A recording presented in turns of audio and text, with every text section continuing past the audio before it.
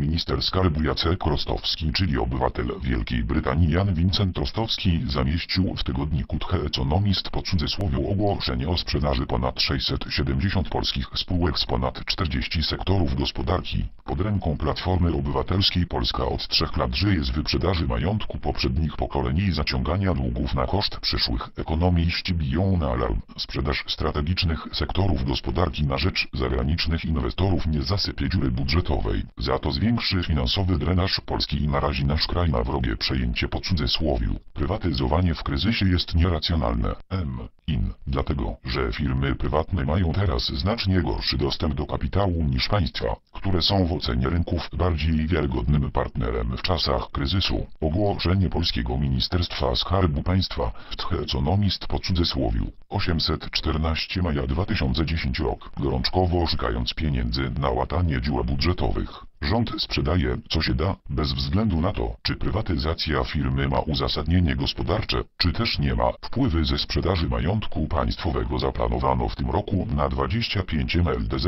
ale minister Aleksander Grat licytuje w górę, utrzymując, że sięgną nawet 30 MLD złotych. Miliard w górę czy w dół nie zmienia jednak obrazu sytuacji. Mimo totalnej wyprzedaży majątku rząd nie zdoła ograniczyć dziury budżetowej do zaplanowanych rozmiarów, czyli 52 MLD złotych złotych. Szacujemy, że już dziś rzeczywisty deficyt budżetu wynosi 90 MLD złotych. Pod koniec roku dług publiczny sięgnie 780 800 MLD z ocenia główny ekonomista Skok Janusz Szewczak. Prywatyzacyjny rozmach rządu doszedł do punktu, gdy trzeba powiedzieć nie. Ludzie są zgorszeni beztroską, z jaką rząd wyprzedaje majątek publiczny budowany przez pokolenia, mówi poseł Gabriela Masłowska PiS ekonomistka. Po giełdowym debiucie PZU, za sprawą którego udział Skarbu Państwa w naszej największej ubezpieczeniowej spółce spadł z ponad 50% do 46%. Przecinek rząd przymierza się do sprzedaży zakładów wielkiej syntezy chemicznej. Pod młotek pójdą zakłady azotowe Puławy i zakłady chemiczne Police.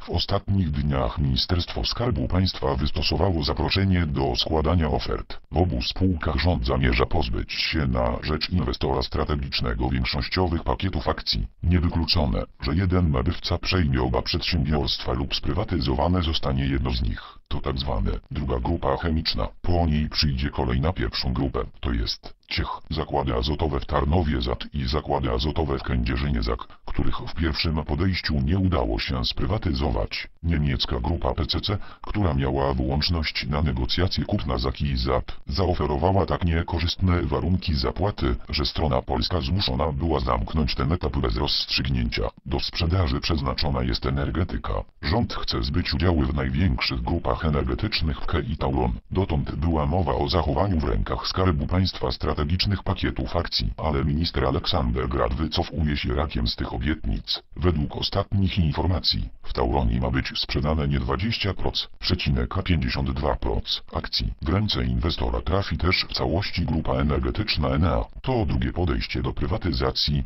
W pierwszym prowadzonym w dołku kryzysu nie wyłoniono nabywcy. Na sprzedaż trafi też pakiet 13% akcji w koncernie naftowym Lotos, 10% akcji w KGHM Polska Miedź po cudzysłowiu, mniejszościowy pakiet w spółkach paliwowych, część spółek związanych z sektorem obronnym, firmy farmaceutyczne oraz dalsze 65% akcji lubelskiej kopalni węgla kamiennego Bogdanka, która zadebiutowała na giełdzie w połowie ubiegłego roku. Do końca roku ma rozpocząć się sprzedaż warszawskiej giełdy papierów wartościowych najważniejszej instytucji infrastruktury rynku kapitałowego. Akcje giełdy mają zadebiutować na jej własnym parkiecie. W ubiegłym roku w ostatniej chwili udało się powstrzymać ministra Grada przed wyjątkowo niekorzystną dla gospodarki i samej giełdy sprzedażą GPW inwestorowi branżowemu niemieckiej Deutsche Börse. Rząd sprzedaje strategiczne dziedziny gospodarki, nie bacząc na kryzys, bo jedyne, co go zaprząta, to narastające kłopoty z płynnością budżetu. Ten gabinet kompletnie nie rozumie, w jakim kierunku rozwija się sytuacja na świecie.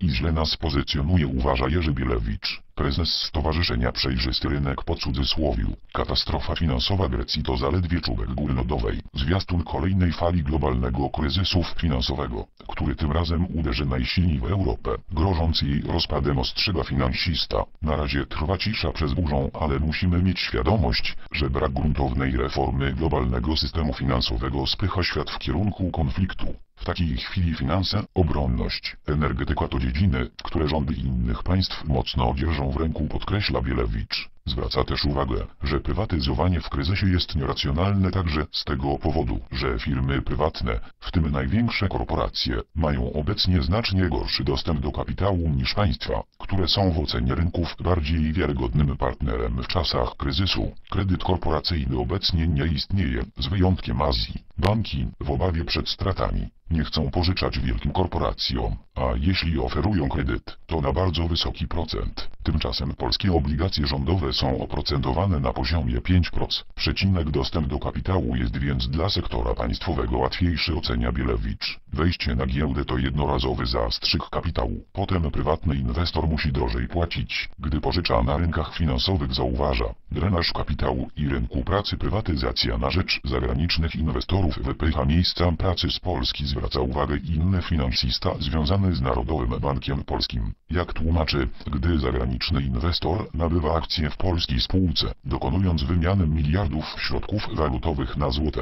podbija tym samym kurs złotego, czyniąc nasz eksport mniej opłacalnym. Dlatego rezultatem masowej prywatyzacji z udziałem kapitału zagranicznego jest zjawisko przesuwania się miejsc pracy z Polski za granicę. Zamieniamy aktywa kapitałowe, które dawałyby nam wieloletnie dochody w kraju, na jednorazową konsumpcję. I to ma być interes. Pyta retorycznie, o ile prywatyzacja na rzecz kapitału zagranicznego niesie negatywne konsekwencje, to prywatyzacja w warunkach kryzysu jest zdaniem naszego rozmówcy szkodliwa w dwójnasób. Kryzys ma to do siebie, że powoduje zasysanie środków z peryferii globalnych korporacji do centrali, a więc w kierunku odwrotnym niż w czasach prosperity, gdy kapitał dokonuje ekspansji i inwestuje za granicą wyjaśnia. Oznacza to, że środki finansowe wypracowane w polskich spółkach z chwilą wejścia zagranicznego inwestora strategicznego będą transferowane za granicę poprzez wypłatę zysków, ucieczkę przed podatkami, stosowanie cen transferowych etc. Szczególnie jaskrawo proceder ten widoczny jest w spółkach o charakterze finansowym, to jest bankach i firmach ubezpieczeniowych na przykład. Inc. w kryzysie dokonało wielomiliardowej lokaty w zagranicznym banku matce.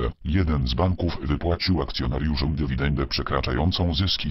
Z kolei ceny transferowe to sposób na wyprowadzanie zysków przez zagraniczne sieci supermarketów i firmy, których produkty cechuje wysoki wsad importowy po cudzysłowiu. Premier Donald Tusk i minister Aleksander Grad upatrują cudownego lekarstwa po cudzysłowiu w prywatyzacji poprzez giełdę, gdy miejsce zagranicznego inwestora strategicznego zajmuje mniej lub bardziej rozproszony akcjonariat.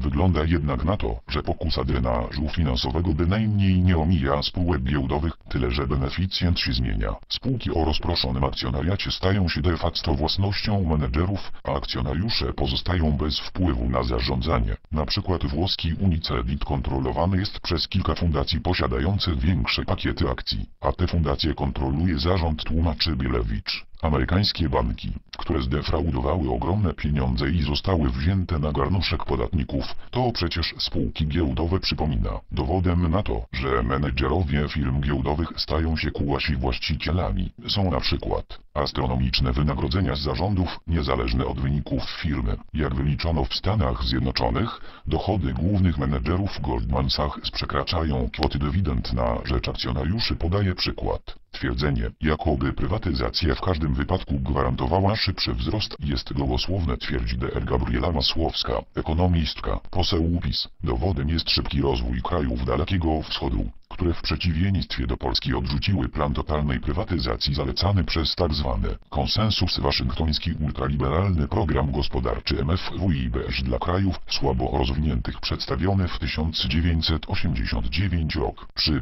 RED Kropka. Prywatyzacja to nie panaceum. Najpierw warto zapytać rząd, gdzie się podziało ponad 100 MLDZ z dotychczasowej prywatyzacji prowadzonej od początku transformacji. Czy dzięki wyprzedaży tego majątku mamy wyższe emerytury? Czy za te pieniądze zbudowano autostrady? Czy Polacy stali się właścicielami fabryk? Czy budżet ma wyższe wpływy podatkowe? Pyta retorycznie Janusz Szewczak. Główny ekonomista Skok, powiedzmy wreszcie otwarcie, to była od początku koncepcja pozbawiona perspektywy, ograniczona do doraźnego zatykania luk w finansach publicznych dochodami z wyprzedaży majątku pokoleń zaznacza, totalna prywatyzacja nie jest panaceum na problemy gospodarcze, przeciwnie w wielu wypadkach może zaszkodzić twierdzi Jerzy Bielewicz. Każda dziedzina gospodarki wymaga jego zdaniem odrębnej strategii. Jeśli chodzi o status własnościowy, po co sprzedawać energetykę inwestorom zagranicznym, wiadomo, że środki na niezbędne inwestycje będą pozyskiwać na polskim rynku przez zawyżanie cen energii, co narazi polską gospodarkę na utratę konkurencyjności. Po co pozbywać się kontroli nad PZU,